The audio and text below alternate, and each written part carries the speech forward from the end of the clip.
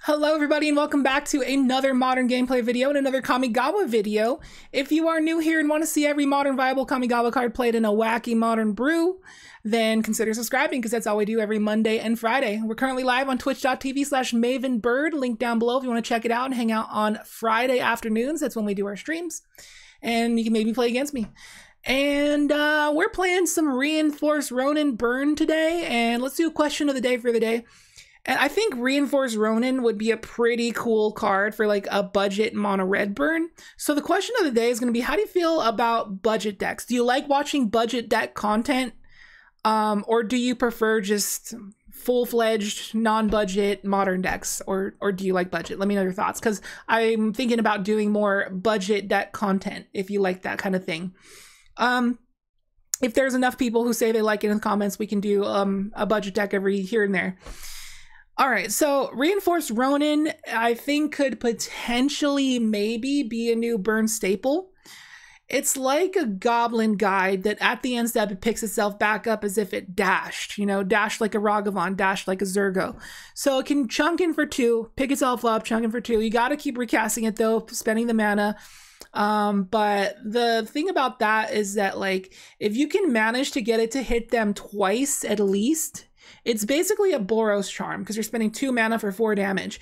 But then you can channel it once you pick it up another time and you can just discard it for two mana and cycle it to draw another card, and maybe draw into more burn. So I think that that could potentially be a really solid thing to help with the mid game of burn decks. Um, although it could also be terrible in some scenarios where the opponent's got good blockage or, you know, I, I don't know. In some scenarios, I feel like it just can be bad or too clunky. Or if you're in a racing situation, it making you repeatedly take um, pings off of your own, own Eidolon could be a little bit dangerous. Another cool upside of it, as you know, that burn decks are usually Lurrus companion decks, and and then the thing is, you can cycle that Ronin to draw a card, replay it off Lurrus, pick it all up the end step, and cycle it to draw more cards. So it's like a little card advantage engine, kind of like Burns Mishra's Bauble.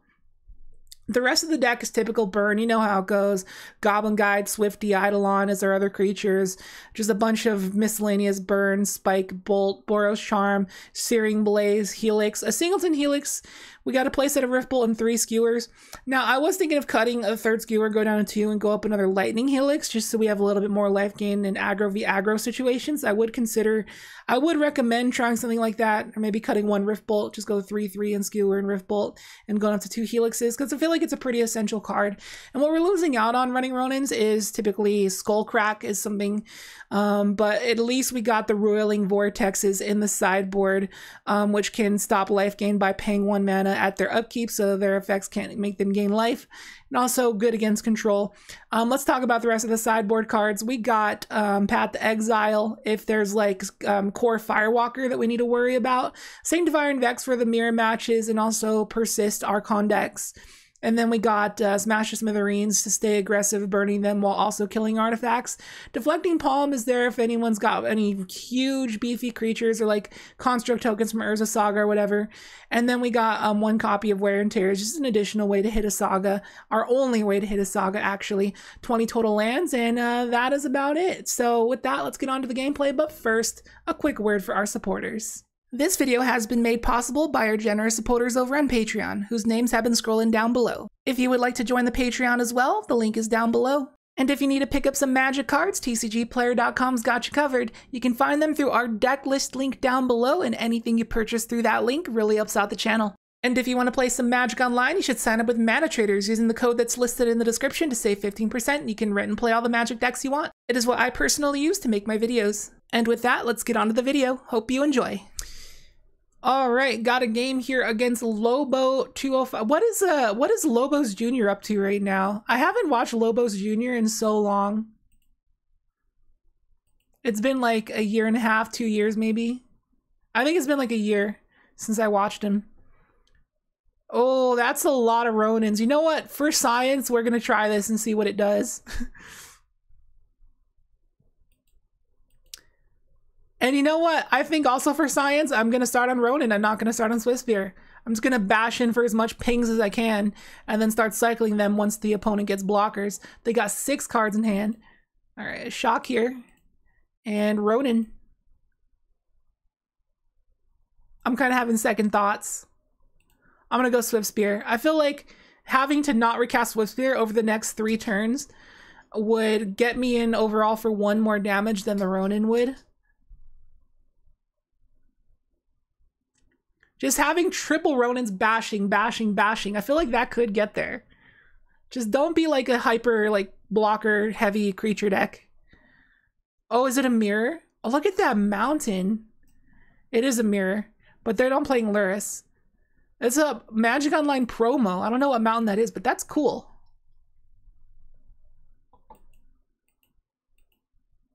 Inspiring Vantage.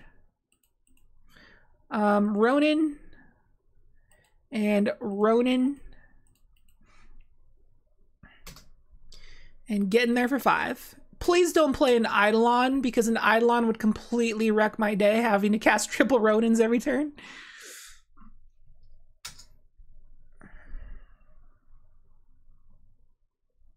Where is it now? Belching Beaver?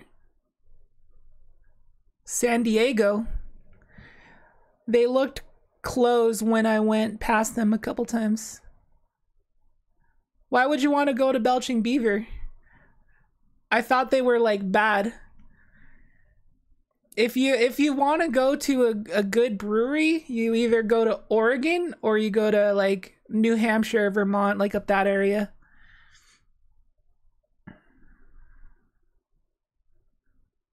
Searing Blaze kills the uh, Monastery Swift Spear.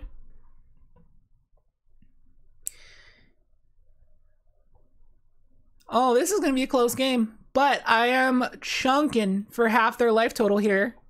All I got to do is do it one more time. Just one more time.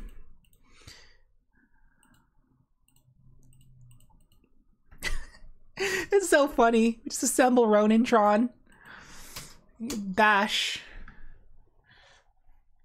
There are many good breweries in my area in Oakland.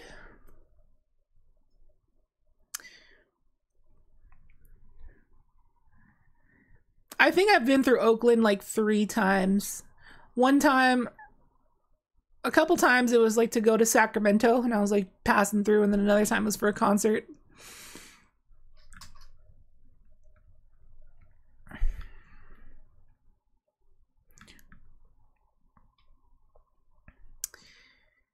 They gotta stay back with something, right? Yeah, they're staying back with Swifty and they're gonna prowess up and like eat a Ronin. Skewer the critics on top. Okay. Well, I'm just going all out still. I'm just gonna swing, swing, swing, and skewer.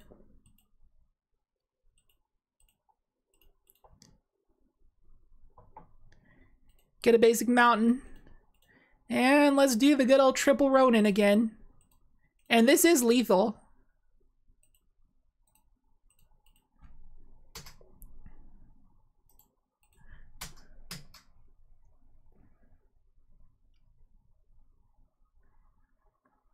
Oh yeah, that's right. They can bolt one, eat another, and then they're gonna go to one. Oh, that sucks.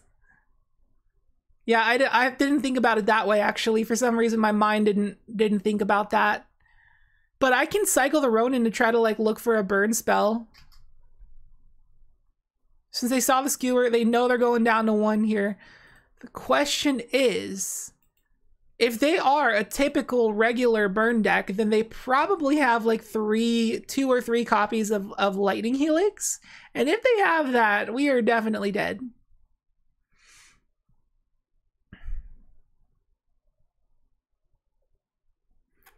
The Ocean Beach Brewery? You mean Long Island?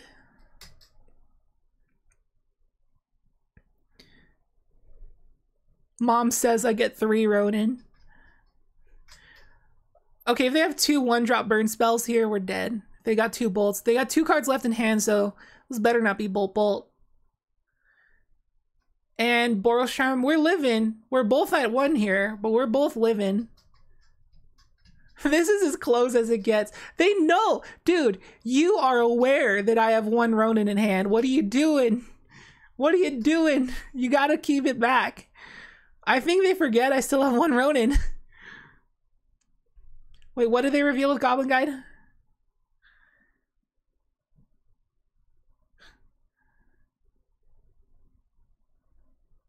What happened? Okay, they, yeah, Goblin Guide got revealed there, so I was going to have Goblin Guide plus Ronin coming at them. All right, onto the board. Give me Sanctifier en-Vec. And probably Path because they're probably going to bring in um, Kor Firewalker. And um, deflecting palm's not bad. I can like deflect a bolt back at them, so it's not bad. It's not great either, but I'm gonna bring it in. And I think I'm cutting um, Boros Charm, maybe. Or maybe I cut the Ronins on the draw. I think on the draw, having all these creatures is going to be a little too much. I mean, Eidolon is probably what I cut on the draw. Yeah, that's for sure. And then um, Boros Charms don't have the versatility of hitting creatures. So I feel like that might be the cut. Yeah.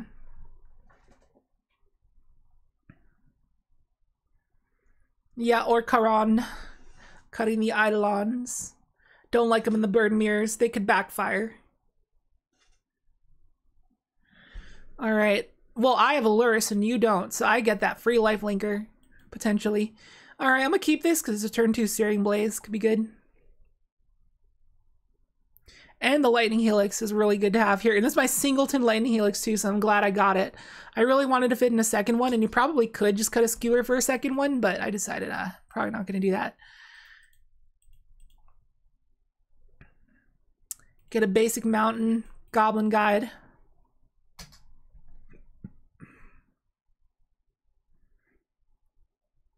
Yeah, I see I see you paying costs. I see you paying costs there. I almost don't even want to swing because I know they're just gonna bolt this. I know they're just gonna bolt it, dude. I saw them paying costs. Do I just stay back? I'm very tempted to just stay back. Because they're gonna bolt it either way, right? Uh... Whatever. Maybe we get free information. Maybe we give him a free land. Please don't give him a land. Okay, skewer. All right, good. Good thing I decided to swing. We got free information. They're bolting it anyways.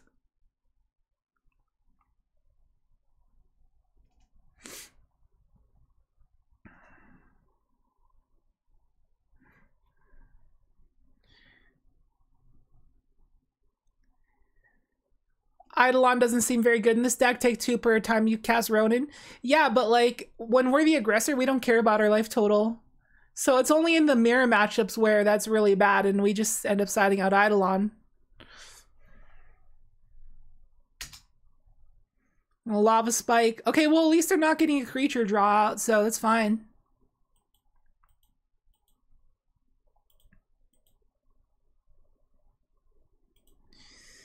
Um Sunbaked Canyon. I know I could be fetching for a basic mountain here, but I feel like I'm going to need to fetch a Sacred Foundry because I'm going to end up cracking my Sunbaked Canyon and then I'm going to be out of white mana. All right, getting there for two. We can pull this back with the Helix, maybe. They got four cards left, and I'm at 12, so I feel like I could live. System 4200, thank you for the tier one sub for 41 months. Oh, gee. How you're seven months away from being in the four year resub. That is crazy. Thank you so much for all the support over the years. I appreciate you so much. All right, Aaron Massa. And let's Searing Blaze killing the Eidolon, pumping our Swifties, going down to nine. And I'm not dead yet. I'm I'm uh in range of three bolts, but I doubt their hand is triple bolt here. They like they got two cards left and they're in top deck mode. I doubt they got triple bolt here.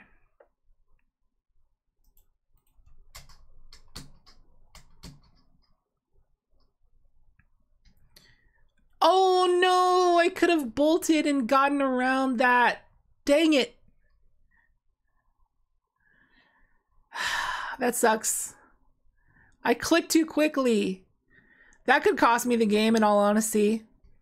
Again, that's the kind of mistake that wouldn't happen in paper. It only happened on MODO. I accidentally clicked through.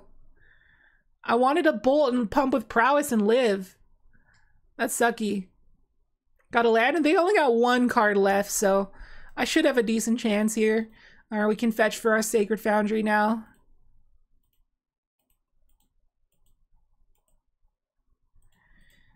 Alright, I'm gonna sorcery speed Helix here.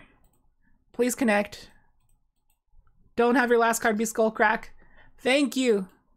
Alright, go to combat. Get in there. And I, I have lethal. I have lethal. I just double bolt.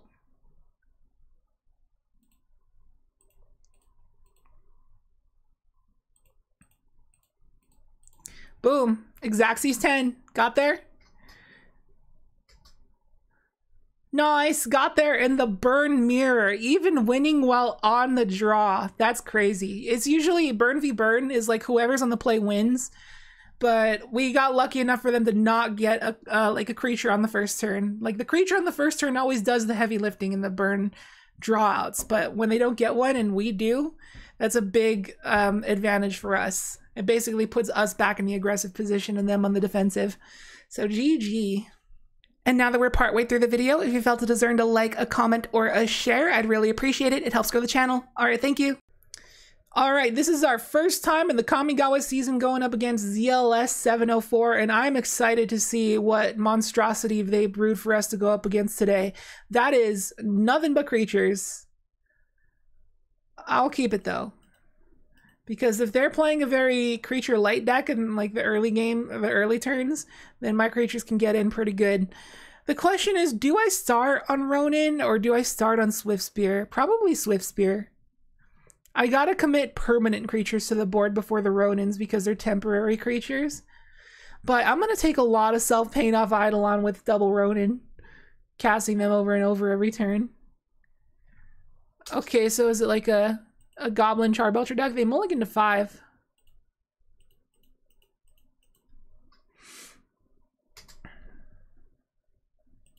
Getting there for one.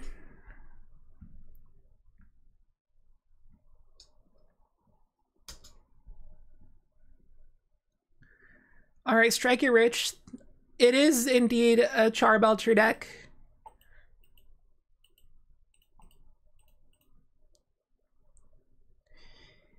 All right. What would be the more aggressive play, double Ronin or Eidolon? I'm just gonna go Eidolon. Just stick to my guns. Stick to my gut.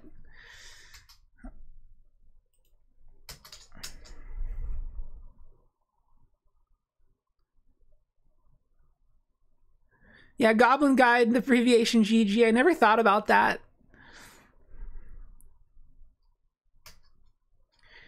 Pyretic Ritual, they take a couple damage. So they can get out the Belcher here. The Belching Beaver. Another one, they take another couple damage.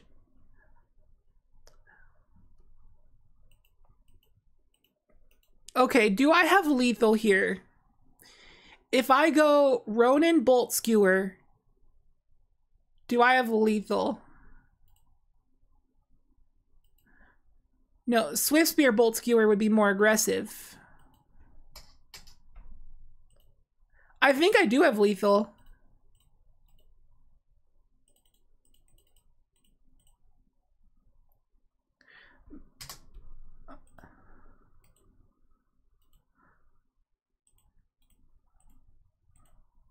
Yeah, that that is that's enough, right? Yeah, yeah, yeah that's Oh my goodness, that is Xaxes. Oh, they are mad. That we lucked. We luck sacked. We were supposed to be dead there. Wow. We got super luck. Good thing I, I thought about the plays through before I did them. Thought it was more damage and it was just enough. Alright, so give me Smash to Smithereens. Give me Wear and Tear. Oh, Deflecting Palm though. Oh, I'm gonna go for that. I, I'm I'm gonna go for that. Um Uh, let's cut Searing Blaze and a couple, a Rift Bolt and a Skewer. actually a helix and a rift bolt. And run it like that. Okay. Yeah. Well, yeah, we need to get that palm win. What's up, eating a sandwich? Cemetery Gatekeeper an option, or is Eidolon superior here? Eidolon is superior. We uh, tried Cemetery Gatekeeper and Burn, and it didn't turn out super well. You can check it out on the channel if you want. It's up there on YouTube. Just search Cemetery Gatekeeper Burn. Or Cemetery Burn, rather, I think is what I titled it.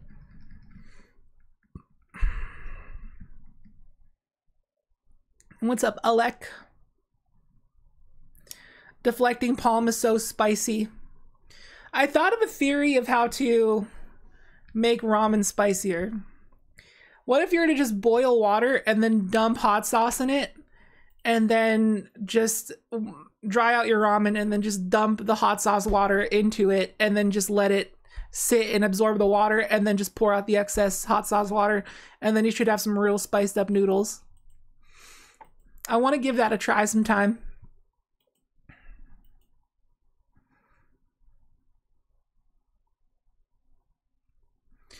But definitely not with this sauce because I showed you guys this sauce like two months ago and I'm still not finished with the bottle. It's low, it's almost done, but it's it's Dave's Dave's Gourmet Carolina Reaper sauce. And oh my goodness, this is the hottest sauce I've ever bought. Like I'm a chili head. I, I eat all kinds of hot stuff and hot peppers and hot sauces. And this is definitely the hottest thing I've ever consumed. Dave's Gourmet Carolina Reaper sauce. It is legit Carolina Reaper mash it is not any kind of like fake or extract thing. It is like legit Carolina Reaper mash. And yeah, it, you can only use a few drops at a time. Like it's really that hot. Cause like when I when I was like buying bottles of um Seven Pot Primo, I could just down that stuff. Like I could I could literally drink from the bottle of it. Like Seven Pot Primo is nothing. All right, we're gonna go for Goblin Guide and get in there. Have you tried Thor's hammer? I have not, but I've seen it. What what peppers are in what what peppers are in that and Thor's hammer?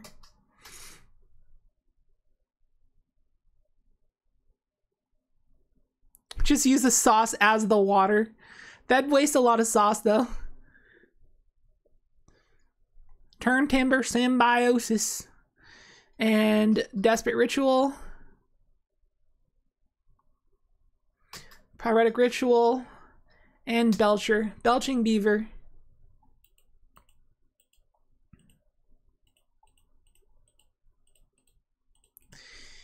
Yeah, so if they got an untapped land here, we lose. The Belcher decks are kind of broken when you think about it, but then again, they need to like get the Belcher out, have it survive. They need to draw it in their opener, which they were lucky enough to do that twice in a row. They got to get it in their opener and have like enough mana sources to get it out quickly enough. So I guess it's fair, but it's like still kind of broken when it works good like that. Just double ritual into it and then just die. Um, so yeah, it's it's broken, but also not. Like you got to get a nut draw for it to be like that, and they just got the nut draw. All right, this time should we just aggressively mulligan for deflecting palm? I kind of want to.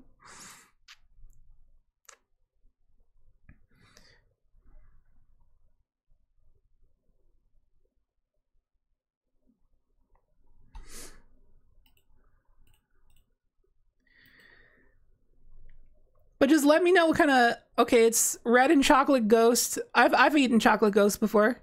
Seven pot Douglah. I haven't had I I've not eaten a Douglah yet. Carolina Reaper, Moruga Scorpion, Jigs, Jigsaw, and Tie. I've never had Jigsaw either. That is a pod that I have I have yet to try. Oh, this is a one lander, but it's got a lot going for it. I'm gonna keep it. Goblin Guide's not gonna give them lands because they don't run any lands. I mean, they run one. So that that that actually sounds like it'd be a pretty good sauce. Like I I only really go for sauces that are over 1.5 million Scoville because if they're if they're under that, they're just not hot to me. I have a decently high tolerance, so my sauces need to be over 1.5 mil or else get it out of here. It's basically baby food at that point if it's under a million.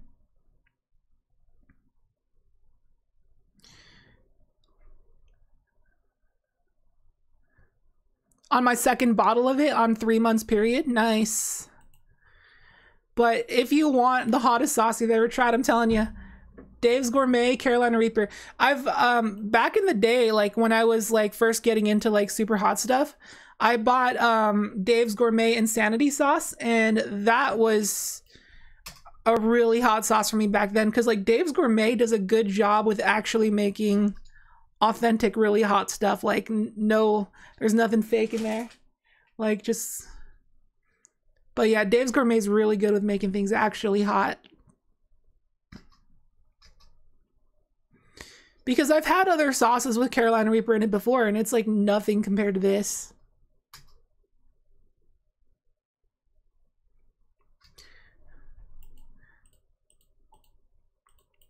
This is, I think it's just straight up mash. Just mash it up, put some garlic in there, and call it a day. Amiria's call. And pass. Alright, this is going to be a little close. If they can get the Desperate Ritual nuts here. Okay, they didn't. Good.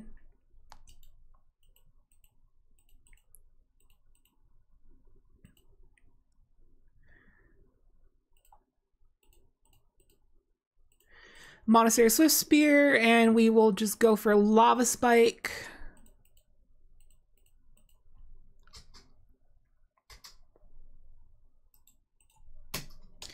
Getting there for six, and they are dead on board. But if there's any deck in Modern that would actually sideboard Fog, I would expect it to be Charbelcher. Belching Beaver. Hashtag not sponsored. Yeah. I'm we're not sponsored by Belching Beaver.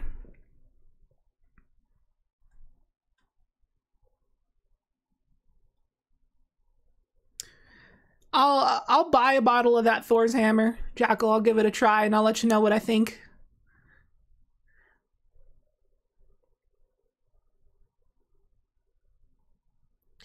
And they scoop it up. I want to like reveal my hand here to like show them that I'm on a brew. I don't want them to think I'm on like meta burn.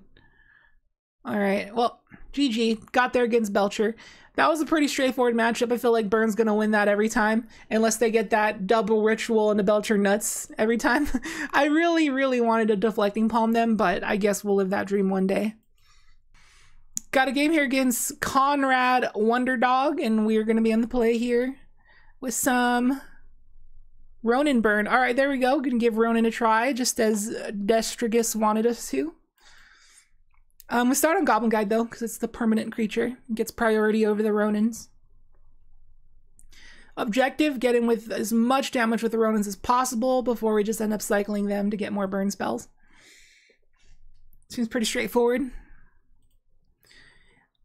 Like, if you wanted to build a creatureless burn deck for some weird reason, um, reinforced Ronin could actually, even though it's a creature, it could fit in with that, like because you can just cycle later. You know, reinforced Ronin could actually be a potential new piece to go in mono red burn if you were like on a budget. Like I could see that happening. We'll definitely have to brew mono red budget burn with reinforced Ronin um, in the near future because I do have a budget deck planned for next week or next next week or whatever. I don't know when this is going to be posted, but yeah, one of those weeks. And uh, so yeah, budget decks are coming back, and I think budget burn could be another good option with the Ronin. In all honesty, this should have been mono red budget burn because it could have been a really good opportunity to do that with this, a good opportunity to do that with this new card.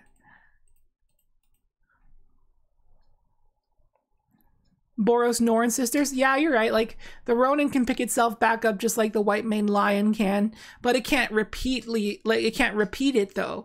The white mane lion can just do it a million times per turn. The Ronin only does it once. Spire Bluff Canal, and they're gonna cycle stripped stripped striped river winder. So the good thing is that Living End doesn't actually kill my Ronins because they just come back.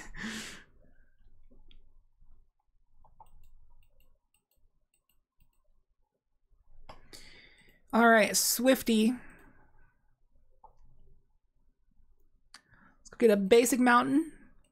Play Swifty. And you guessed it, double Ronin.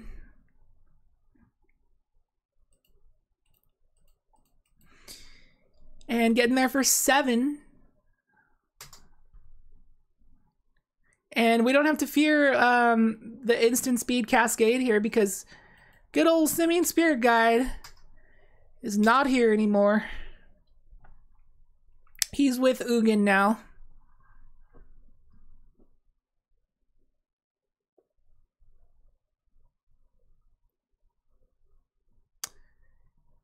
And two mana. We're gonna cycle a, Triceratops. No, they uh Brazen Borrower, the Goblin Guide, bounce back my Ronins. I can still do all four things next turn. Come on, go for the, the living end, I dare you. Architects of Will.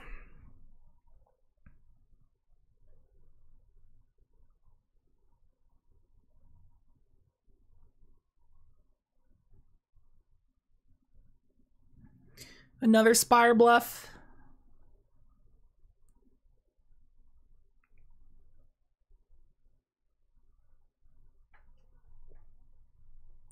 And they scoop it up. Cannot beat the Ronins. All right, onto the board against Living End.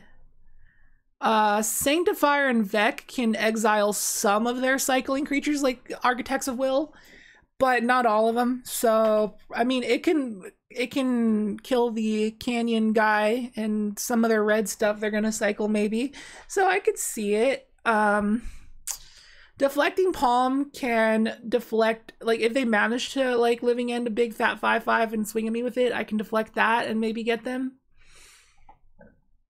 But I don't really know how much that's coming in handy, but I know that I do not want Searing Blaze, so we can straight up cut that. And then we might as well just bring in the Deflecting Palms to give it a try and just cut a Lightning Helix because it's clunks. And run it. Let's do it. Maybe I should have brought in Wear and Tear because it can kill as foretold, and that might be an issue. But too late. I already submitted.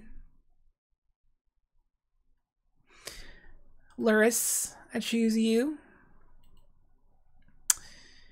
That's going to be a mulligan. That is way too awkward of a, a mana hand right there. Go to six. We'll keep that one. And I think we can ditch a land here. Ditch the Arid Mesa. Leyline. Yikes. That shuts down two of our things. So I'm really just hoping that they have no blue stuff to cycle and that the Sanctifier can just put in work. I guess that's my goal. Oh, grief. I think I just scoop and not reveal Sanctifier. All right, so Leyline. Definitely bringing in Wear and Tear. You know what? To get around Leyline, I think we bring in Roiling Vortex. And uh what what else did we say? Wear and tear. And then let's cut some direct burn spells like some clunky stuff like Rift Bolt. Does this say each opponent? No, target player. Rip. Um we could bring in Smash to Smithereens, hoping that they have an artifact because it doesn't target their face. Um, I don't think they're gonna have an artifact though. That's the thing. I don't think they're gonna have like Dragon's Tooth or whatever, Dragon Claw. Let's just run it and hope for the best. We are a very creature heavy burn deck with the Ronin, so like that can help us get around it. What's up, Zen? Can I have the the link of that deck that is redacted for YouTube? Um, yeah, you can exclamation point deck. Oh, you already did. All right, cool.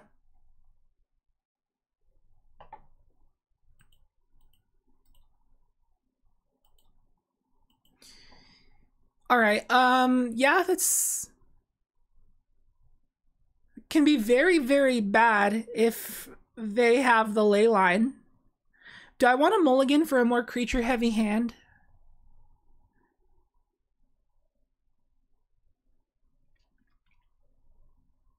I'm I'm kind of feeling like I do.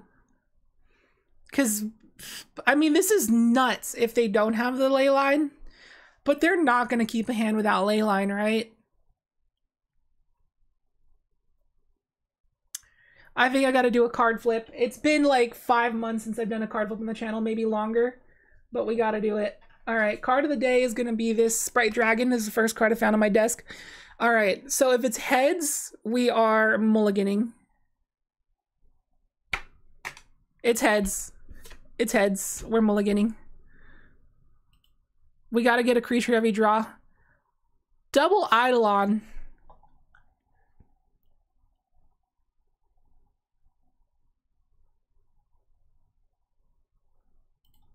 I guess we're keeping that. Throwing away Skewer. And they didn't! They didn't have Leyline! You gotta be kidding me. YouTube is gonna be mad at me for that one. They're like, Meryn, I know you gotta, you can't just expect the Leyline. You gotta keep what you can. I understand. Stop yelling at me. Just wanted to take a risk for once. For, I mean, a millionth time.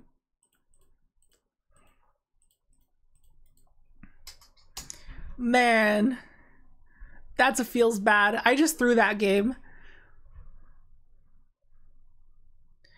Right now, they would have been at 18, and we'd be swinging with Goblin Guide and Swiftspear and bolting their face down to 15 and getting it for four. They'd be at 11 right now. They'd literally be at 11 right now. And the next one was going to go land, Boros Charm, Bolt, and they're dead. Like, I was going to have turn three lethal with that first hand. That's sucky as a ducky. All right, get in for two.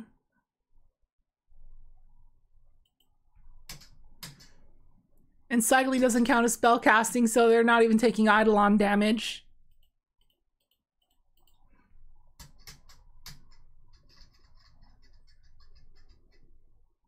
Remand. And they cycle the Waker of Waves and they're gonna scry.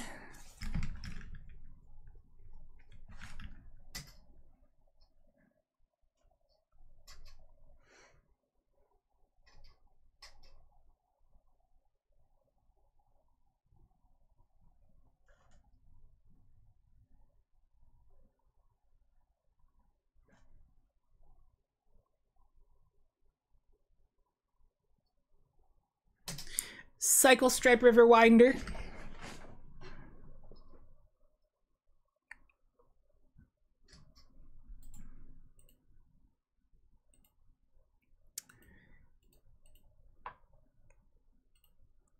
Of course they're cycling all blue stuff when I brought in Sanctifier en-Vec. You gotta have red stuff in there. Alright, let's see if we can get a Ronin here off of our Sunbaked Canyon. We do get a Ronin. We're going to take four damage. But we're still winning the race.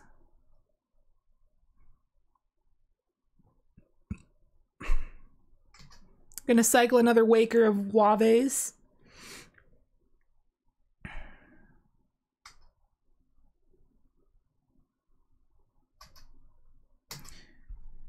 All right, get in there for six, put them down to 10. I'm kind of wanting them to just just uh, do the living end thing here and get back all those five power guys so that I can double deflecting palm them. This would be the perfect time to do it since I can live on two life. Like this is now the time I want it to happen. And I, I, don't think they have any more time to wait. I think they have to go for it here. They need a red source and got electrodominance. But then they're gonna take eight damage. And if they have to shock a red source here, then they're gonna just die. Electrodominance and as foretold are pretty bad right now.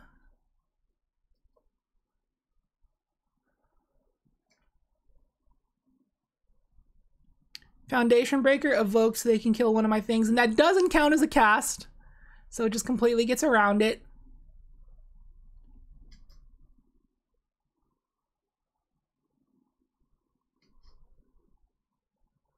So that might actually save their life right there. Okay. Can the game be a draw if I die and they die via deflecting palm at the same time? Who wins? Like, if I kill them with deflecting palm, but they kill me with combat damage, like at the same time, how does that work?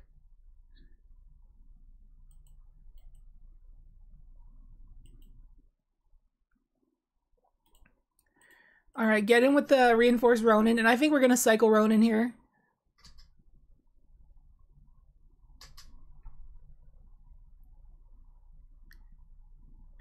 I'm pretty sure it would result in a draw, right?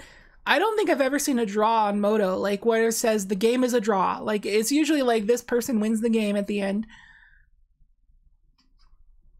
Like if somebody runs that one white enchantment and commander that makes the game a draw, then then that's got to be the way to see it. But if uh, if that card's got to be bugged though.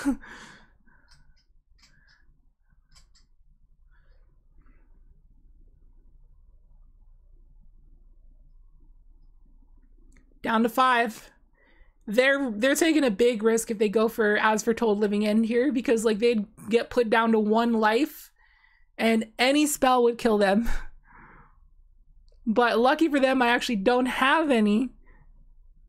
Yeah, the white enchantment that makes the game a draw. I forget what it's called. It's like this old, like I think it's like an eight drop enchantment. It might be less than eight, but it just like it just says in two turns the game is a draw or something like that or like has two counters and when it becomes depleted something happens okay this is an obvious um, violent outburst so i'm gonna cycle here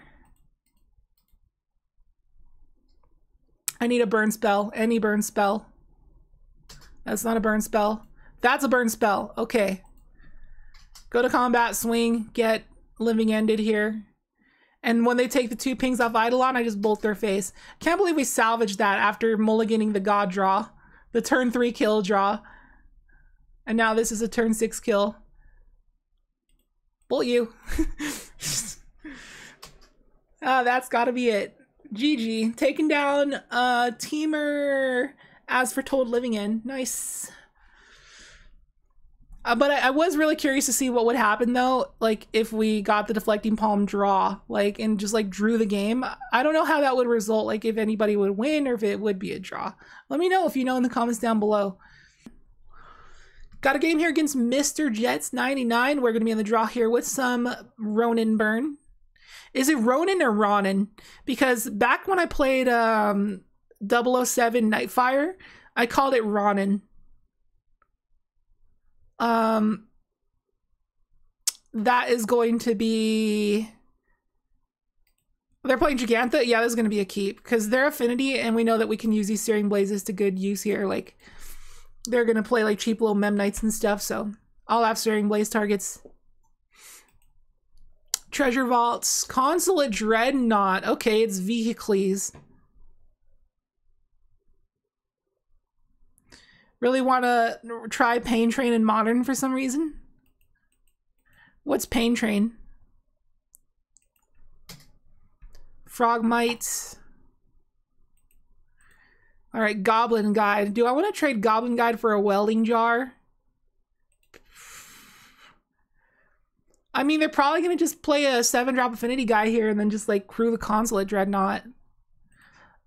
I don't want to trade off Goblin Guide for, I mean, It'll lower their artifact count. Will they take it? They'll probably take it. I'm gonna do it. I feel like I'm giving them a free land here, like a free Urza Saga or whatever. Sojourner's Companion. Yeah, they can't trade. They need to keep their artifact count high for their Sojourners. Pain Train runs vehicles and creatures that give value by being tapped. Yeah, that's basically what vehicles are. You run like Night Market Lookout. You run uh like Pain Seer.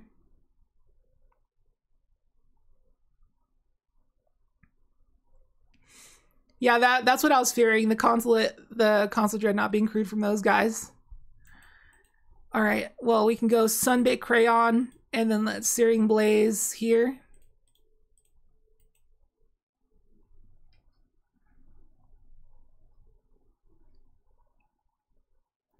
Oh, the welding jar. No. All right. I think I'm going to stay back to chump.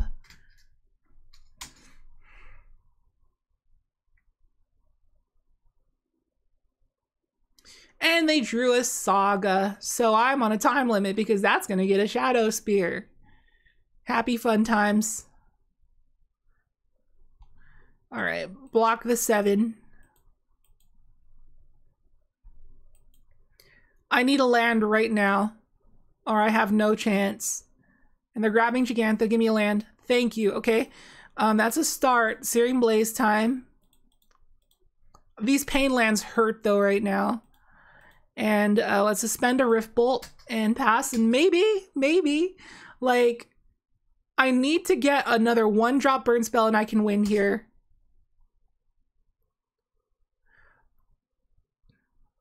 They can just make a Saga token and then crew the Dreadnought again. Mech Hangar. So they're playing Greasefang combo.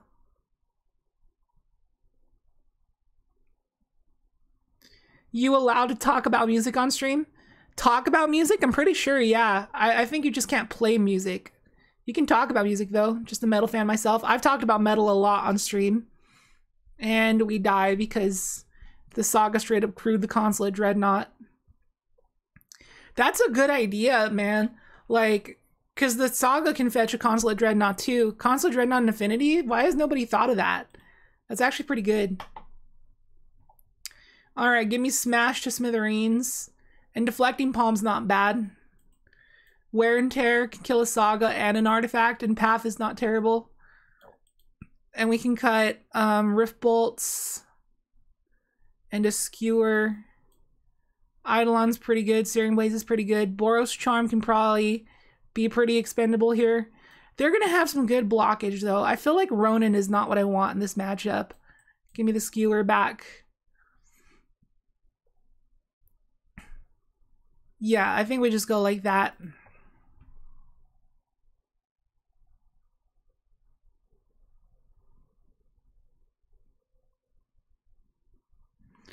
What kind of metal are you into?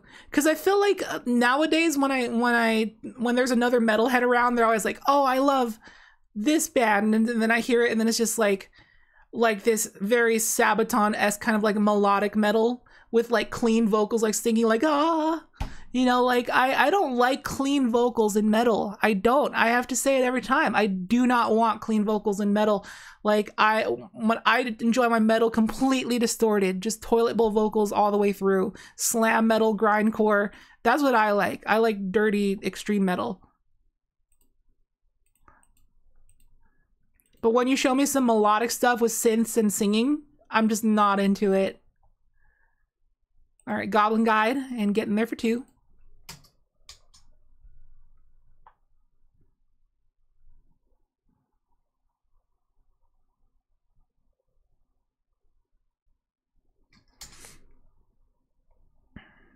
What's up, Freaks Fire Show? Welcome back.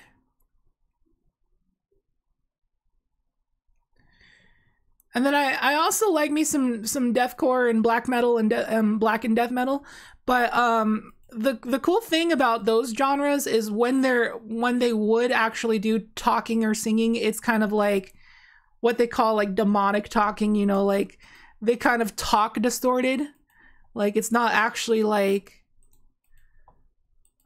it's not clean it's not clean it's still like distorted like talking when whenever they're doing non-vocal parts. Like witchy vocals like witchy kind of vocals you know like infant annihilator does.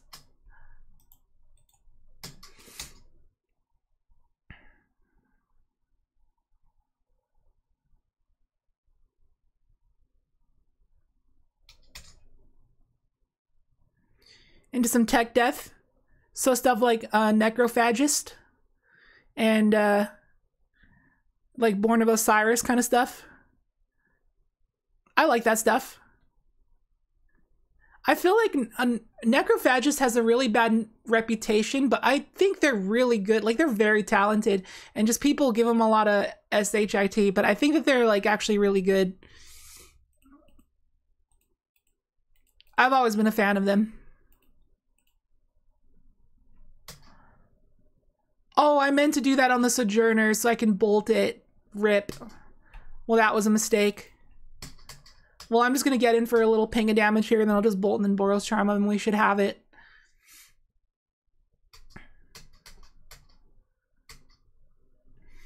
Unless they brought in, like, Metallic Rebuke and screw me over here. Very unique band. Yeah, that's the thing. Very, very unique.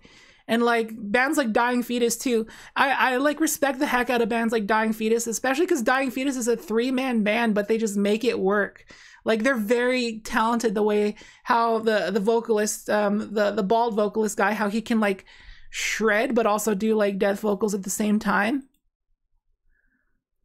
And you don't, you really don't see people um when when you see like uh, death of any genre and when there's like they're playing an instrument but also doing vocals it's usually bass or nothing. They're usually just a vocalist or it's just bass plus vocals. But when it's guitar plus vocals and they're shredding while doing it you can respect it a lot more. That's why there's bands like behemoth bands like dying fetus bands like um i forget but i think um i i don't know i'm blanking on bands right now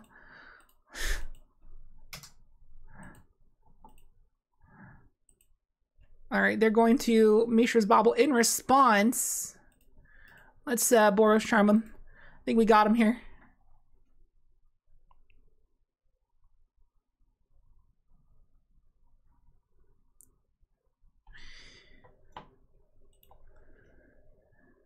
Dead Congregation, probably. I've heard so many bands that they all just kind of get mixed up in my head at this point. Like my Spotify metal playlist has like over a thousand songs from like hundreds of different bands. So I if if I can remember like 10 bands I'd be impressed. But um my favorite like whenever I what gets me going um in in uh metal, especially in like extreme metal is gutturals. When I hear a good guttural, I'm like, "Ooh." Like it really it really gets my goose honking. I guess that's the the the word the word for it. It's um all right, let's uh keep this hand. It looks pretty good. We got the deflecting palm. That really gets me going here in a good guttural, and I usually save those to like my good metal playlist when I hear a band that does good gutturals. Because gutturals is just like it's like um I don't know, it's kind of like a turn on in a way. It's like it's like my metal turn on.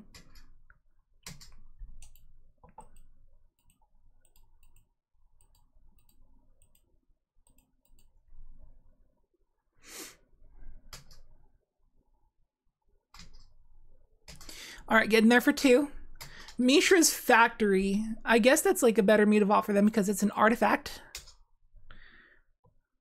Ma no, so masculine. Wait, what did I say? I don't even know. I'm just using analogies.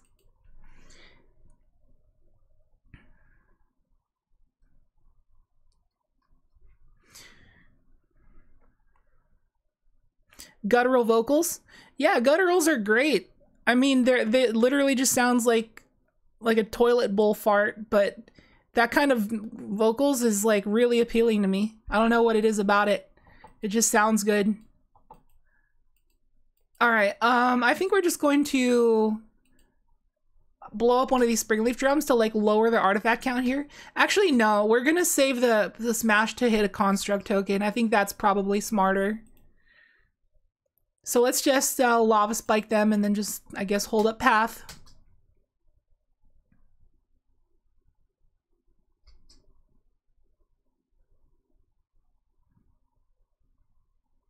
Darksteel Citadel, see if they play some big dudes here.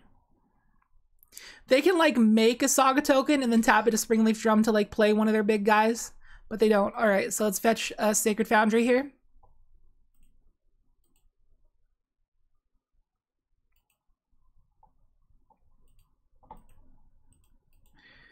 All right, let's get in there. And when they make a construct, we'll smash.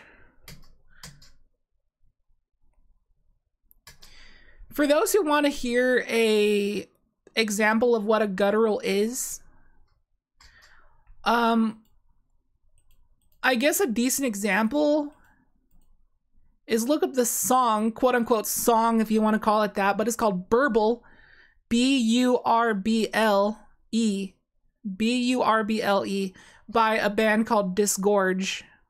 And I'm sure if you're decently smart, you know how to spell disgorge.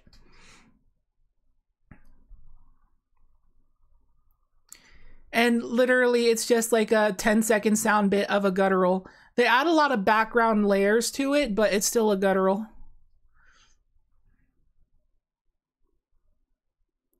They grabbed the Shadow Spear, but they didn't make a Construct token. Playing a Frogmite.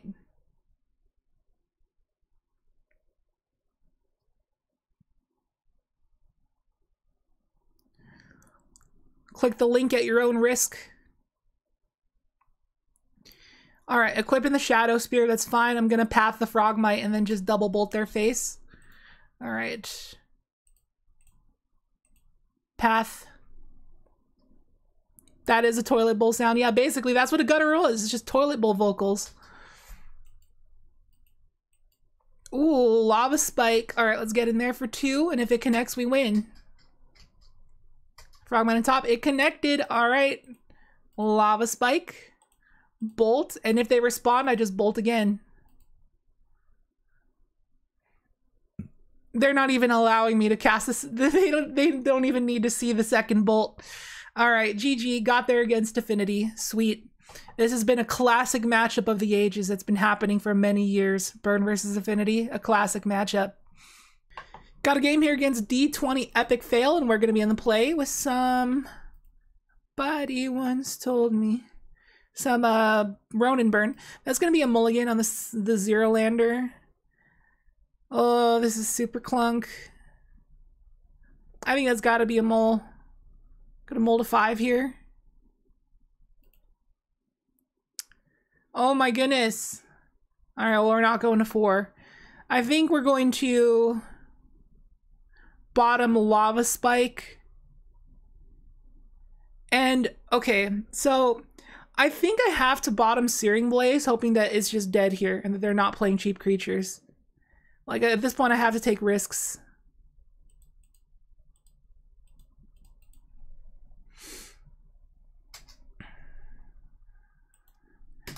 All right, come on.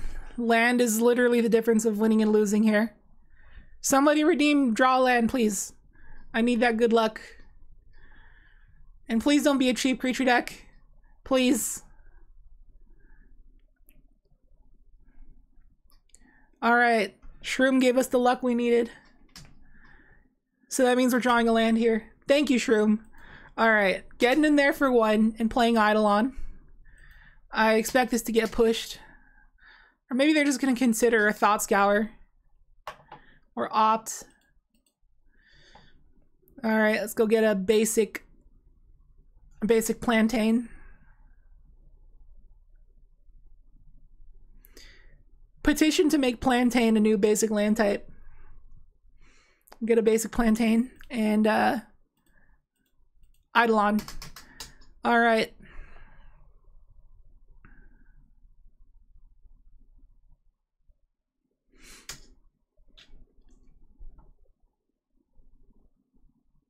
They have a full grip.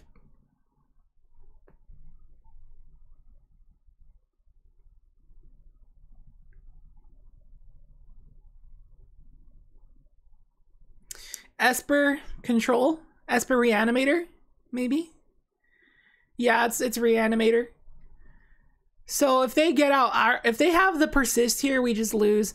And you know, like I always say, whenever there's an unmarked grave, there's always a persist. My opponents are always just so lucky to have both of them in their opener.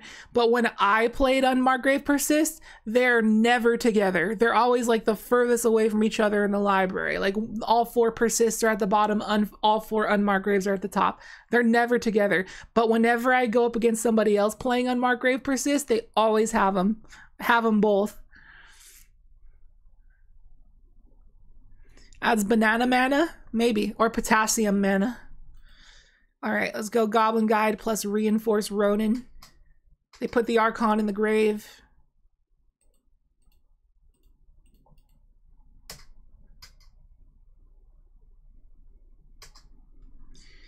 We bop them down to seven, but they're gonna go back up to eight here if they have the persist, and I'm gonna end up discarding my Ronin and then I can bolt them down to down to five and then attack and then they're gonna go down to three but then they would just they just spiral out of control from there. They didn't have it? Oh my goodness they didn't have it. Okay it's got to be over right? It's got to be over. They didn't have it there. This is definitely it. They ain't surviving. I got a bolt okay not bad for a mulligan to five not bad at all Yeah, I guess nine times out of ten now. No persist. Oh, look, persist is on the top. The Goblin Guide just revealed the persist. Wow. Okay. Um. Well, Sanctifier en-Vec's coming in. Do I also bring in Path just in case I don't draw Sanctifier and they manage to get an Archon? Probably. I'm not gonna bring in Deflecting Palm because if Archon's hitting us, we're losing anyways. Roiling Vortex can stop the life gain from the Archon, and that might be clutch, but I don't know how clutch it would be. Um, we're going to take out Lightning Helix and Searing Blaze. I don't think they're playing a Priest of whatever the reanimation thing is. Yeah, let's just run it like that, I guess. Roiling Vortex is a maybe, a real big maybe. Like activating that could could be the difference between winning and losing. Uh, let's just submit. I feel like it's too slow. Because they, they are a pretty fast reanimator deck. Like, they're going to get their Archon by, like, turn three or four. And I don't think Roiling Vortex is going to have the time to do enough damage.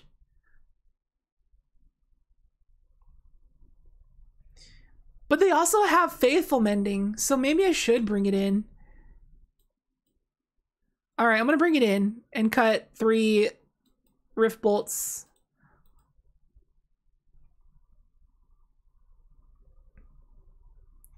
Because if they manage to like stumble and not find their thing until like turn five or six, then they're definitely going to cast and flashback Faithful Mending, and I don't want them gaining four life.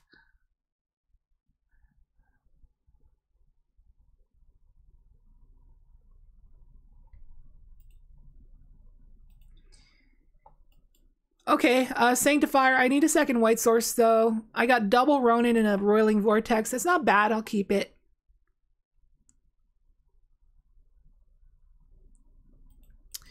But I'm actually going to start on Wooded Foothills and Fetch and Shock a Sacred Foundry just in case I end up top decking the second white source in the second turn.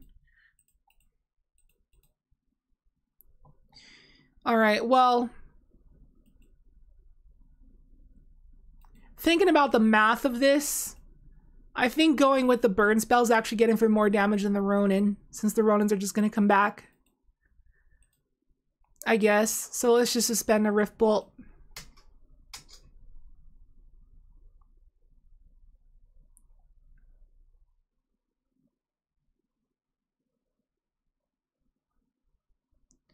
But I guess the benefit of going Ronin is that I get to save my burn spell, so I can just like once it gets to like turn four or five, I can just throw out a million burn spells in one turn because I'm, the Ronin's allowing me to save them. So I guess that's one of the benefits of Ronin.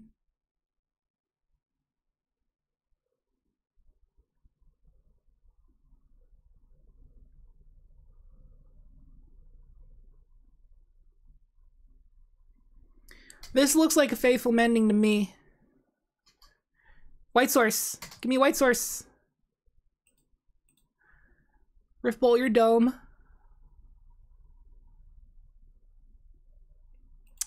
They're fetching in response. They're going to Faithful Mending so that I can't Skull Crack them. Shock and then Faithful. Yeah, that's for sure Faithful Mending. They're going to untap that. They're going to untap it. They tapped the wrong color. They got... Yeah, yeah. Just what I thought. Okay, they're not. They're not. They're allowing me to potentially get them by the balls, though. Flusterstorm, that's why. Okay. Sure.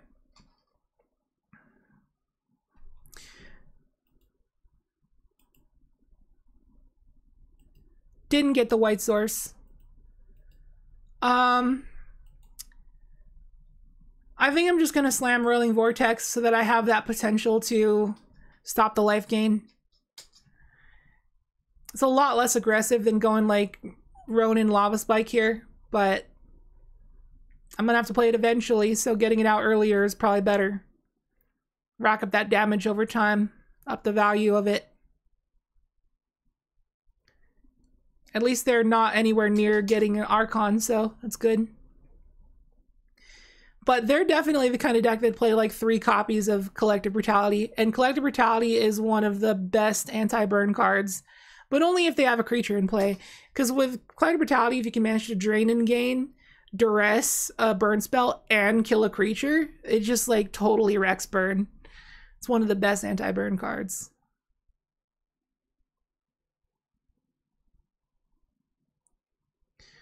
This looks like a collect uh, a kicked collective brutality to me. Prismatic ending on the roiling vortex. All right. At least that's not going towards the sanctifier. Please give me white. Dang it, didn't get the white. All right. Uh, Goblin Guide. I was gonna start throwing out Ronins actually. Save that lava spike.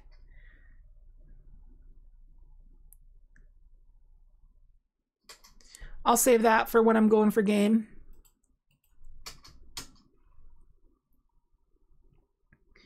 They have counterspell on top. All right, so that's going straight towards a sanctifier when it gets the chance. And they push my goblin guide. They take the Ronin down to 11.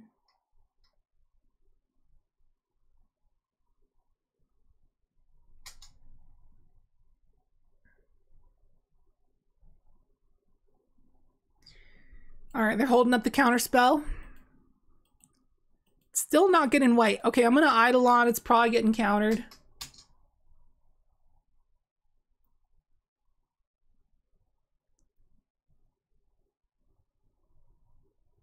Did anybody redeem Streamer Draws Land? I, I need that so bad right now. It worked last time.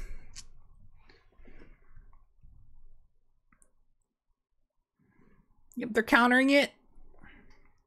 All right, thank you, Shroom. Now I'm going to draw land.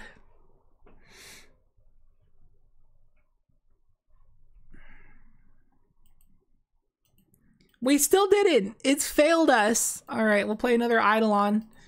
Like I'm giving the opponent all the time in the world to find their faithful mending in their in their unmarked graves. They probably already have a persist chilling in their hand. They just counterspell it again. Oh my goodness. Land, please. No. All right, Goblin Guide.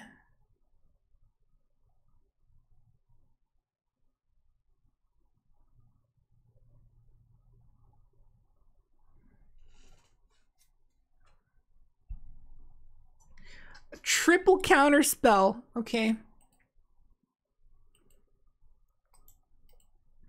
Uh, let's just reinforce Ronin.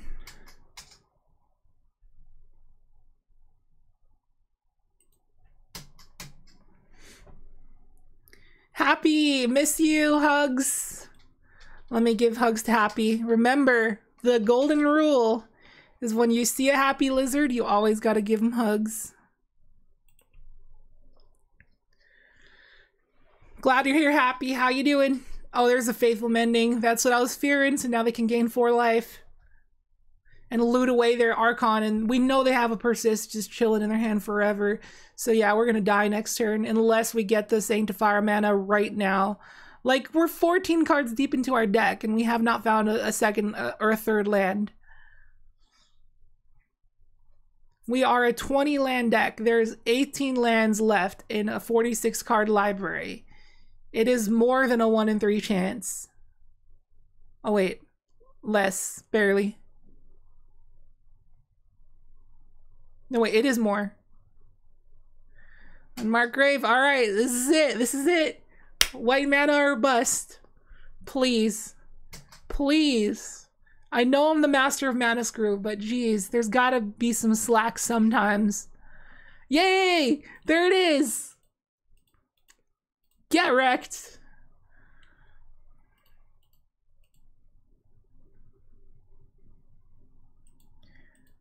Play Ronin.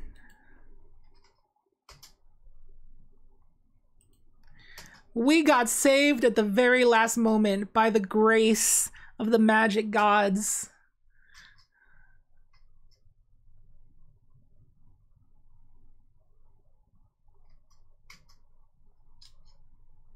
Channel point reward successfully resolve a spell. I know, right?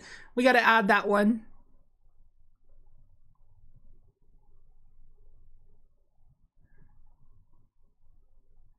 Unmarked Grave is probably gonna put um, the Serra's Emissary. Oh, they just it just goes right to exile. They put another Archon right into exile. I thought they were gonna grab the the the the big white angel that names a thing and gives them protection from a thing. They just scoop it up.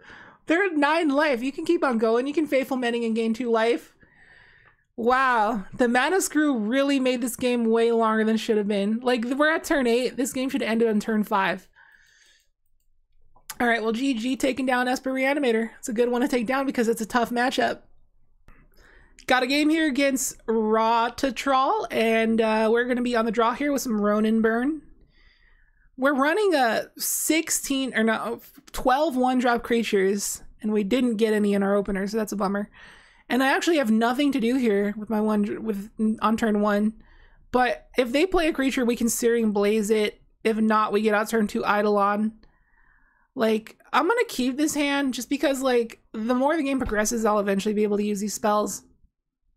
Don't be Esper Sentinel. Oh my goodness.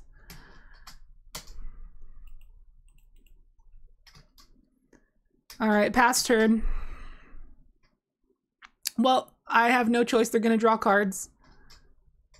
Please don't play a second one. Just whatever you do, just don't play a second one. Aether Vial.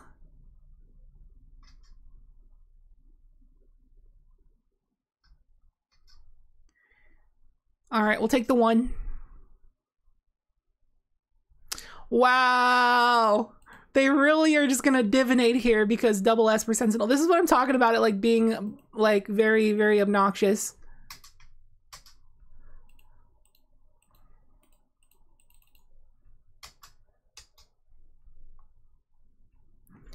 And they basically just replace him for free. And I got him for three damages, so that's something, I guess.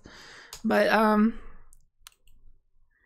Esper Sentinel, or Eidolon's not going to do a whole lot when they got a Vial and Saga. That They're just going to grab a Shadow Spear and give it life link, and there's nothing I can do about that. I'm to need to have my sideboard wear and tear and, and smash to smithereens to be able to deal with Saga.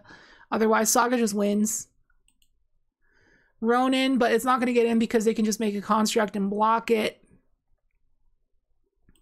So I think I just play Make Canyon and pass, and when they go to make a construct token, I'll just Searing Blaze it.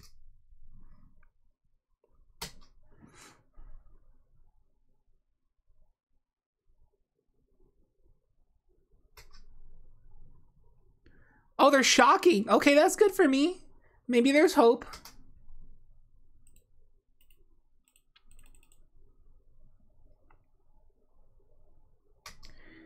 Okay.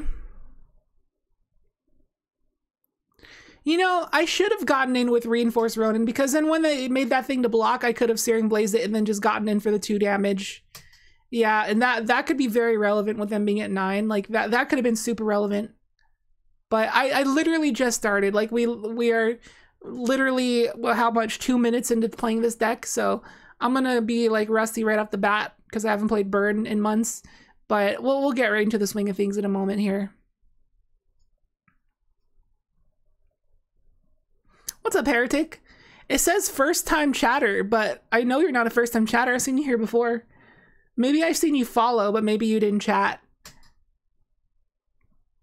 But heyo. Goblin Engineer.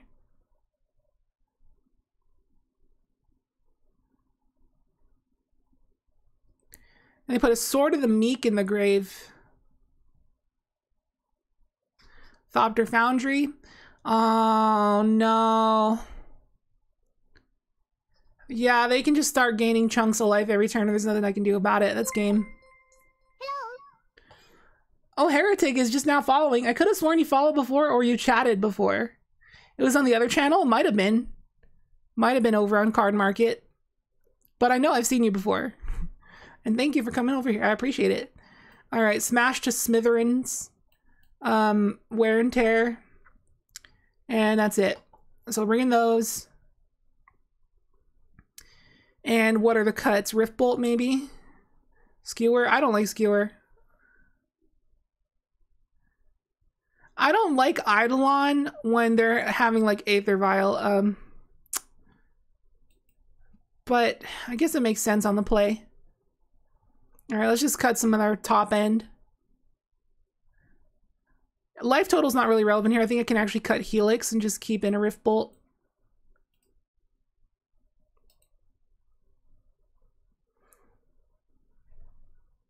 Searing Blaze isn't like super needed. Like they're gonna have just Esper Sentinel at the low end. I'm not expecting like Giver of Runes or anything else. So maybe I should have cut that because there's no guarantee they're gonna draw an Esper Sentinel every game.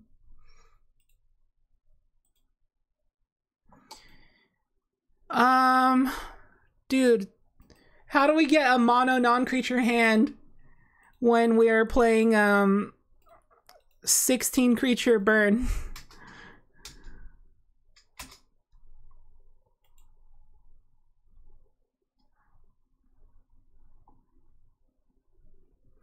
Do you play limited in MTGO? Every in a blue moon, but yeah. Well, we gotta kill Esper Sentinel, or else it's gonna start drawing a million cards. what an annoying card Esper Sentinel is.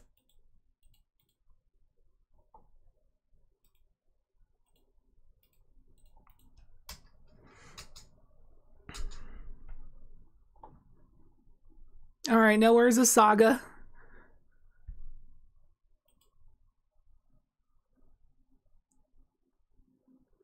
Shocking. It's good for me. Goblin Engineer. There it is. Putting in the sword. I should have brought in a... Oh, wait, no. My Graveyard Hate is a Sanctifier en-Vec, and that wouldn't stop that. Um... Alright, well, let's just pass a turn, and if they get back the Thopter Foundry, we'll just smash it to smithereens. So I guess that works.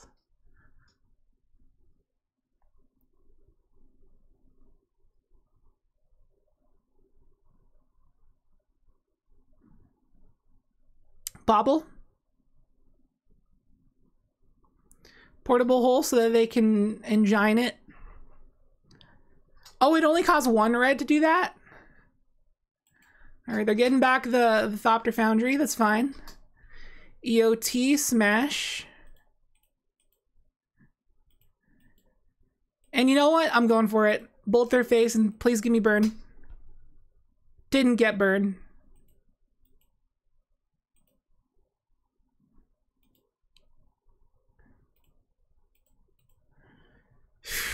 I'm tempted to grab Lurrus, but I'm also tempted to crack the Sunbaked Canyon. I think I'm gonna grab. Uh, I think I'm gonna crack Sunbaked Canyon here. Dang it.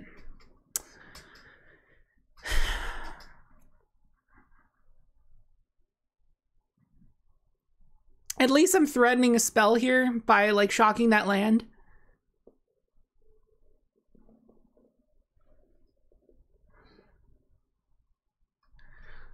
Bolt. They made the mistake of going down to three. You, that's rule number one against burn. Never, if you can like play your lands in a way where you don't pay the life down to three, you got to stay out of bolt range at all costs, or else that happens. All right, um, we're gonna submit it right back like this. Sanctifier. Wait, Thopter Foundry's black, so this could exile that if they put it in the grave with the Engineer. However, I don't see that scenario happening every time either because I feel like they're more likely to throw Sword of the Meek in the grave, so I'm not going to bring it in. Shut down life gain. I mean, Roiling Vortex, I have to like pay um pay a red every turn to do that. And they're going to like have a repeatable source of that they can do on my turn or theirs. It's just not going to work out. All right, we'll keep this. We got a turn one creature finally as we're meant to because we're running 12 of them. So finally we got one. They got the Kamigawa Island Aether Vial. Okay. Boglin Guide and get in there. Just don't play a Thalia.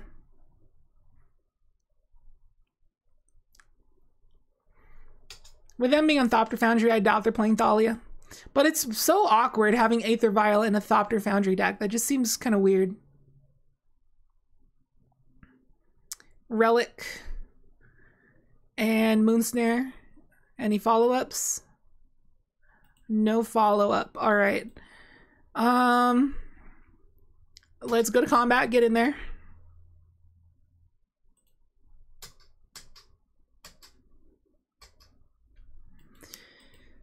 And um, I think we just suspend a Rift Bolt and pass. Uh, no, let's let's actually just hold up Boros Charm.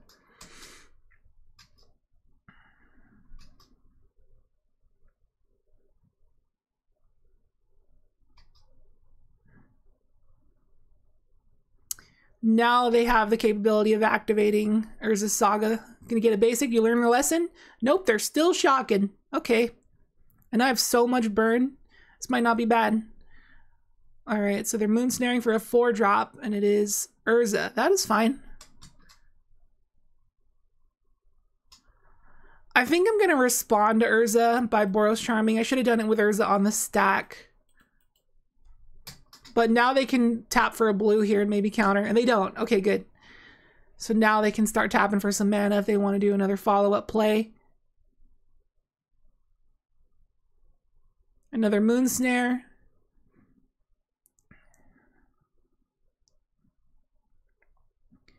No, I needed their... Okay, good. They're just cracking the relic. I was going to say, I need that construct to not be more than 5 power because I'll be able to Searing Blaze it here. Um, so let's go to combat. Actually, yeah, just go to combat. Get him with the Goblin Guide. See if we get him a free card. Esper Sentinel. They're blocking with the Construct token. Sure. We will Searing Blaze the Construct. And then we'll just suspend a Rift Bolt and pass and we win on our turn. See if they can get us here. Oh, the Urza Saga can go and fetch a Shadow Spear and gain a couple life, but we still got them. We can deal nine to their face. But if they can like get Urza any bigger. Again, like Aether Vial in an Urza deck.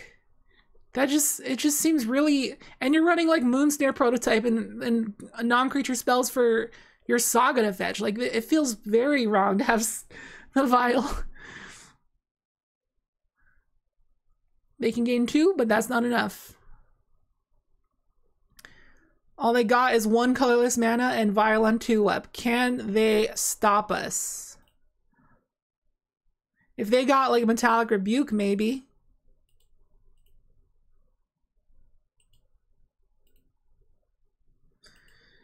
And Bolt Bolt. I'm going for it. Hey!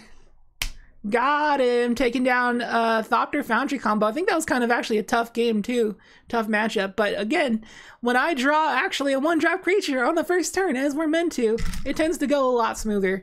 And Goblin Guide put in that work there. Nice. GG. Hello everybody and welcome to the speed up session for today's video. As you know, we like to speed up the longest games in the videos, make sure it's not way longer than it should be, and as I always say, if you want to catch the full games unsped up, unedited, and uncut from the video, you can go to the Twitch link down below and check out the entire VOD from last Saturday, or you can come out on a future Friday. Yes, if you have not tuned in yet, Fridays are when we do the streams now. Um, you can come out on a future Friday if you want to catch the gameplay live before it goes up on YouTube, and you can even play against me if you'd like. I welcome that as well.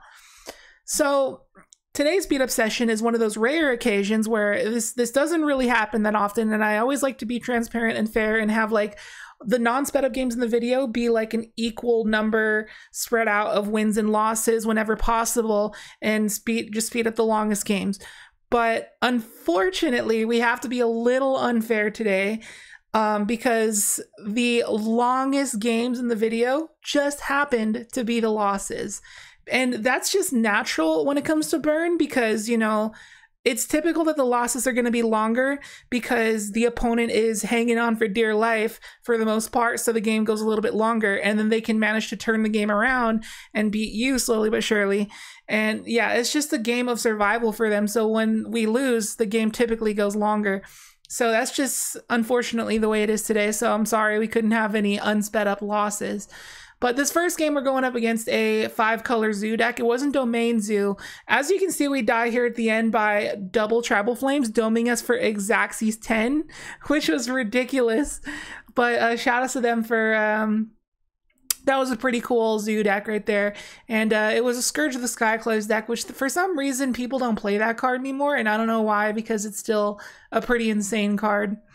Anyways, uh, that game came and went super long without us having the chance to commentate it. But let's go on to this last matchup. And this opponent was playing a very spicy Kamigawa Brew. I, I like it a lot. It's like a Abzan enchantment aggro deck, but it's also a Lurrus deck. So all their enchantments are like CMC 2 or less and they're running like Sythis, they're running a bunch of sagas or a bunch of new sagas. This new two drop Celestia guy that can put lore counters on sagas. They're playing that tribute to Toshiro Umezawa or whatever that card is. That saga. They're playing the Okiba Reckoner raid.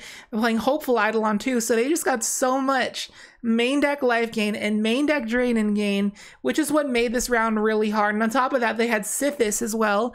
And Sythis can gain life whenever they play an enchantment. They just had everything to like gain life. And then they had cheap a lot of cheap main deck hate like they had those path to exiles they had dead weights they had mire's grasp because their removal in the form of an enchantment which is what their deck was based around obviously so it was really cool and their deck seems to be amazingly good against burn i i i wish that their deck would seem better against most other things, but it, unfortunately, it just seems like it's good against Burn. I, I think that if it goes up against anything else, it'd have a pretty tough time. But still, they got the right matchup at the right time, and they totally mollywopped us with our main deck life gain. So with that, let's go on to the wrap up. Hope you enjoyed. All right, let's talk about some reinforced Ronin Burn. So I like this card, but I don't think it will be a burn staple. I don't think it goes in here. Like there, it was okay in some situations, but there was just some times where it was a little bit too mana hungry. You know, I feel like this would be better in like a 22-ish land burn deck. If you can find a way to make a clunkier burn deck that does something very specific, like, you know would be cool to pair with it actually is Shrine of Burning Rage. Shrine of Burning Rage, like it, it gets a counter on it whenever you cast a red spell. So being able to like repeat reinforce Ronin with that, it doesn't sound like a terrible idea.